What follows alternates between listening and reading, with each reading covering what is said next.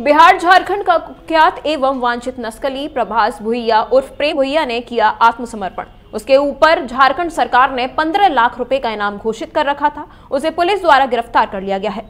बिहार सरकार ने उसके ऊपर पच्चीस हज़ार रुपये का इनाम घोषित कर रखा था। प्रेम भुहिया भाकपा, माओवादी के रीजनल कमेटी का सदस्य है पुलिस को लंबे अरसे से उसकी तलाश थी। उक्त नस्कली ने गया के रामपुर थाना क्षेत्र स्थित सीआरपीएफ एक सौ बटालियन के मुख्यालय प्रांगण में सीआरपीएफ के कमांडेंट कुमार मयंक एवं गया के वरीय पुलिस अधीक्षक आशीष भारती के समक्ष आत्मसमर्पण किया, जहाँ अधिकारियों ने उसे पुष्प गुच्छ देकर स्वागत किया। इस संबंध में गया के वरीय पुलिस अधीक्षक आशीष भारती ने कहा कि बिहार पुलिस सशस्त्र सीमा बल सीआरपीएफ और कोबरा बटालियन के दबाव में कुख्यात नक्सली प्रेम भुइया ने पुलिस के समक्ष आत्मसमर्पण किया है। आत्मसमर्पण के दरमियान प्रेम भुइया ने अपने साथ एक राइफल और 925 ज़िंदा कारतूस समर्पित किए हैं। उन्होंने बताया कि लगातार नक्सलियों के गढ़ में सिविक एक्शन प्लान के तहत नक्सलियों के परिजनों को मुख्य धारा में जोड़ने की निरंतर कोशिश की जा रही है। प्रेम भुइया झारखंड के चतरा ज़िले के प्रतापपुरा थाना क्षेत्र का रहने वाला है। वर्ष दो हज़ार तीन में ही वह नक्सली संगठन में जुड़ गया था। वर्ष दो में में उसे रीजनल कमांडर बनाया गया। वह बिहार झारखंड में दर्जनों लूट हत्या जैसे कांडों का अंजाम दे चुका है। झारखंड सरकार द्वारा इसके ऊपर पंद्रह लाख रुपए का इनाम घोषित किया गया था। प्रातः दर्पण न्यूज़ के लिए गया से रमेश कुमार की रिपोर्ट।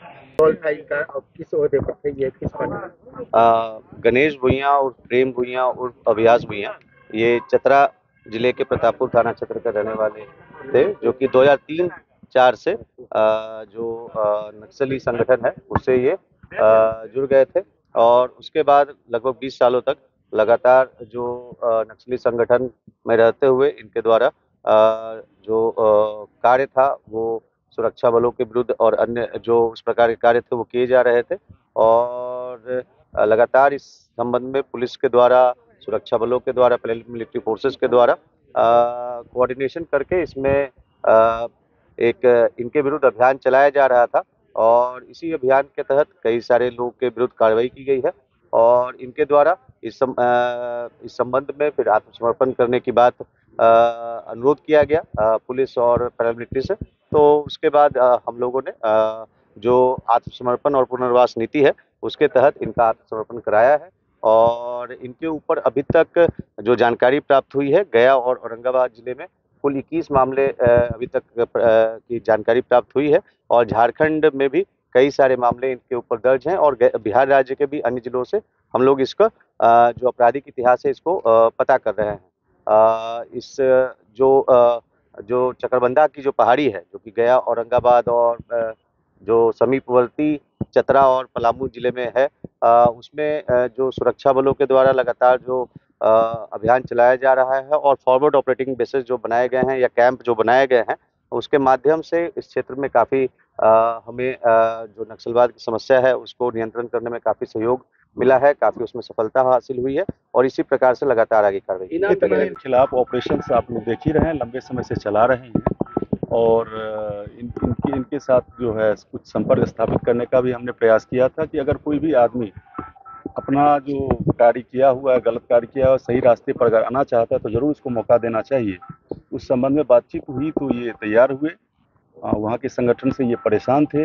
अपने परिवार के साथ अपने बच्चों के साथ नई जीवन जीना चाहते थे। तो उसमें उसमें हम लोगों ने उनको मदद करने का प्रयास किया है और जो भी रिहेबिलिटेशन पॉलिसी है सरकार की उसके तहत उनको सारी चीज़ें सुविधाएँ अभी तो जो इनके ऊपर जो इनका केसेज है वो चलेगा। इनके ऊपर जब केस केस से बाहर आएँगे इसके अलावा जो सरकार की तरफ़ से जो पुनर्वास योजना है उसका डिटेल्स हम आप लोग को दे देंगे। उसमें कई सारी चीज़ें हैं तो वो सारी सुविधाएँ इसको दी जाएगी। इसके अर्थ समर्थन से उधर जो इलाके हैं नक्सल प्रभावित इलाके उसमें क्या परिवर्तन होगा?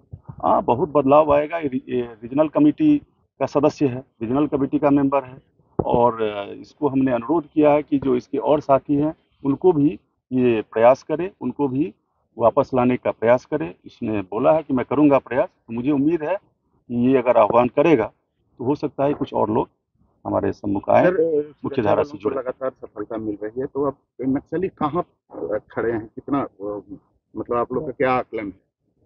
नहीं आकलन ये है कि कुछ जो पुराने नक्सली बचे हुए हैं जो हैं अभी वो तो सक्रियता है। अब हमारे इलाके में है या नहीं ये नहीं हम लोग तो जाते हैं हमें तो मिलते नहीं है दैट मीन्स हमारे पास अभी नहीं है।